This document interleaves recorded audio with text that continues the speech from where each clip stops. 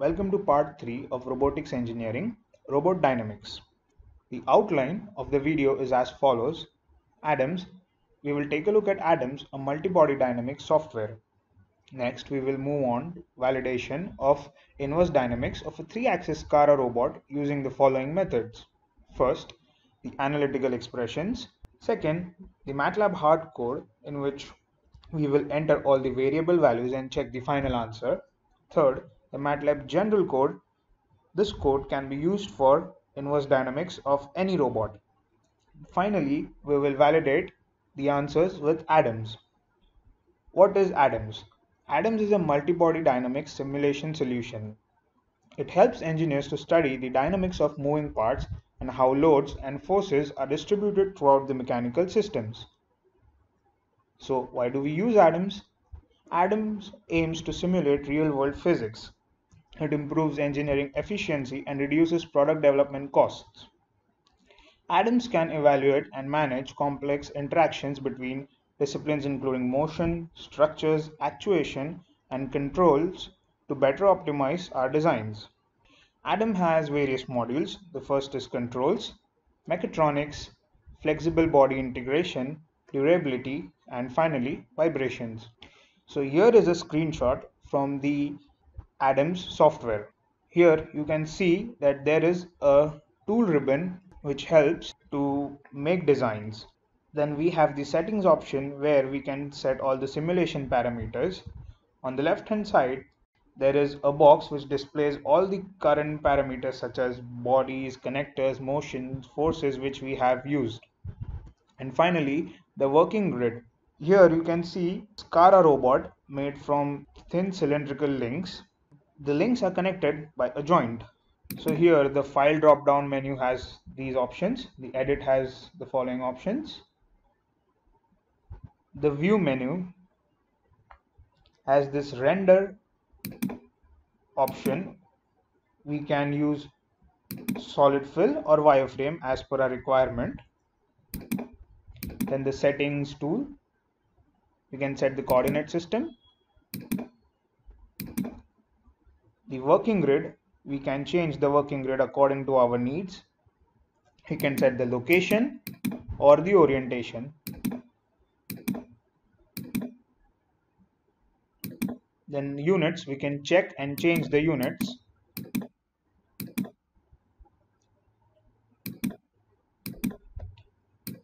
We can set the gravity in any direction we want for the simulation and there are many other options. This is the front view, the side view, the top view. This is the coordinate axis. We can move any part, fit to size, dynamic zoom. Then we can rotate. We have a pan option. And finally the zoom option. These are different bodies, a box, cylinder, sphere, link, and there are various other options. Different types of connectors, fixed joint, revolute joint, translational joint, and so on.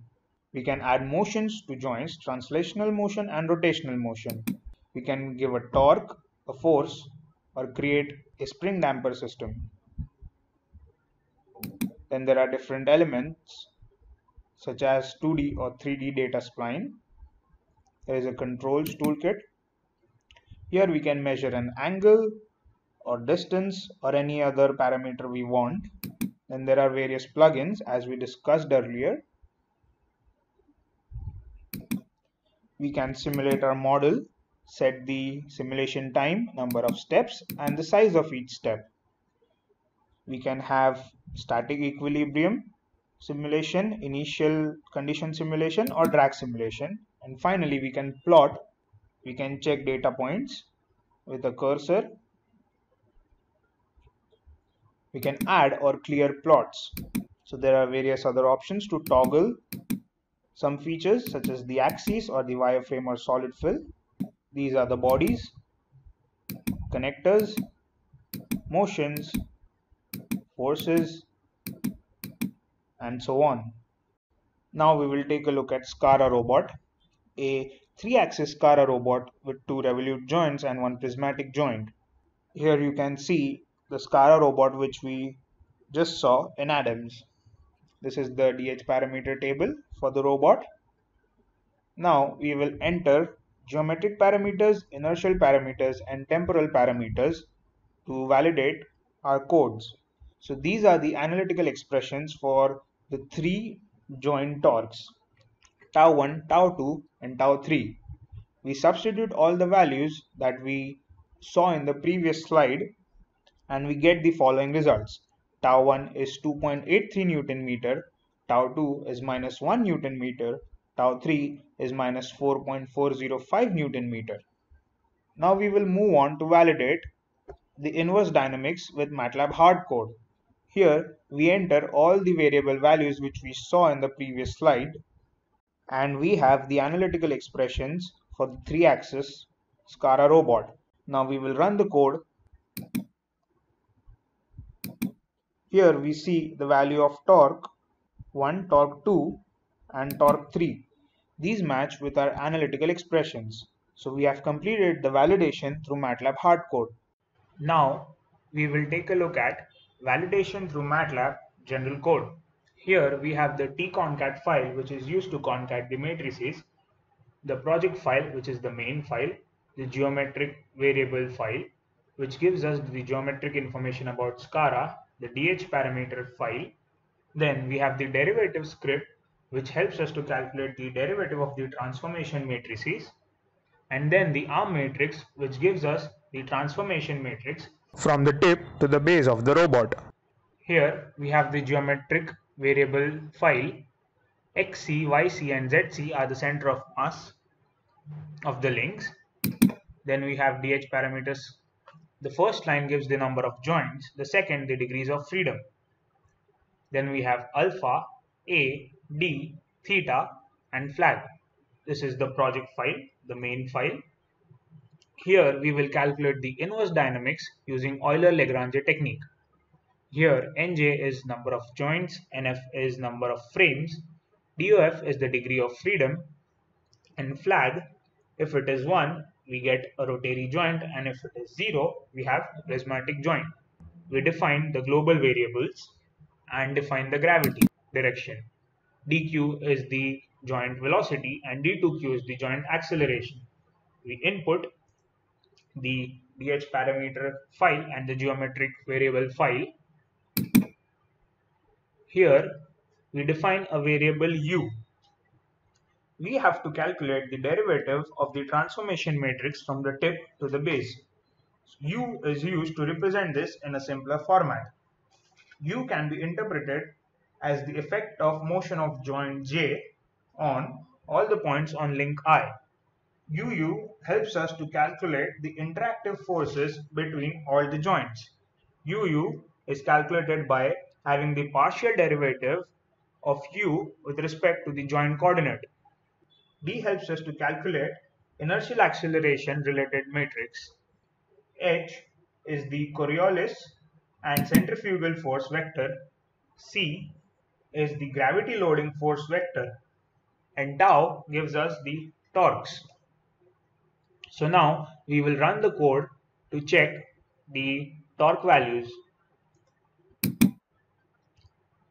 Here we see that the torque values match our values which we got from analytical expressions and the hard code. Now let us take a look at validation through Adams. Here we have a SCARA robot ready. Ground, offset, link 1, link 2 and link 3. We have Q joint, theta 2 joint, theta 1 joint and the fixed ground joint we have three motions. Q motion theta 1 motion and theta 2 motion. Now we will check the inertial properties of our bodies. Here we have mass and moment of inertia terms defined as 0 for offset. Link 1 has a mass of 1 kg and we have considered a thin cylinder for inertial parameters. We have link 2 of mass 1 kg and link 3 of mass 0.5 kg with respective inertial parameters. Now we will define the motions. Here we have to remember the convention that motions in the counterclockwise direction are positive and motions in the clockwise direction are negative. Motion in the positive z-axis direction for translational joints are positive and motions in the negative z direction for translational joints are negative. Since we want joint motion in the negative z direction, we take negative values of acceleration and velocity. One has to take care of signs to get correct results. Now we have theta 1 motion. Here we have designed the joint and defined the motion in the clockwise direction. Therefore, to get motion in the counterclockwise direction, we have to define the acceleration and velocity with a negative sign. But the magnitudes remain the same. Now we have theta 2 for explaining the previous point we have defined the theta 2 motion in the counterclockwise direction and therefore the acceleration and velocity values have a positive sign. Now we will carry out a simulation with a time of 0.5 seconds with 50 steps. Here we get a warning because the values which we have entered for the inertial parameters are unusual for rigid bodies as we have taken a thin cylinder. Now we will check the torques on each joint. We have the force for translational joint in z direction. The value is minus 4.403 which matches our previous values. Now for theta 1 we can name the measure as we want we will check the torque in z direction.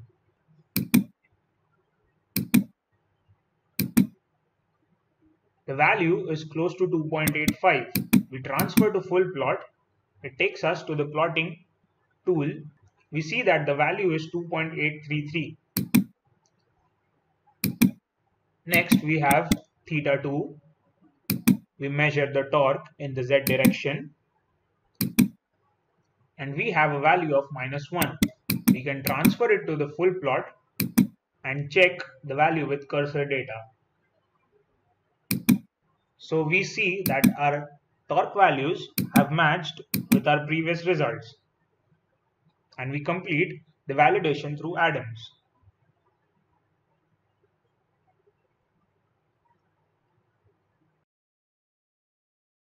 Thank you.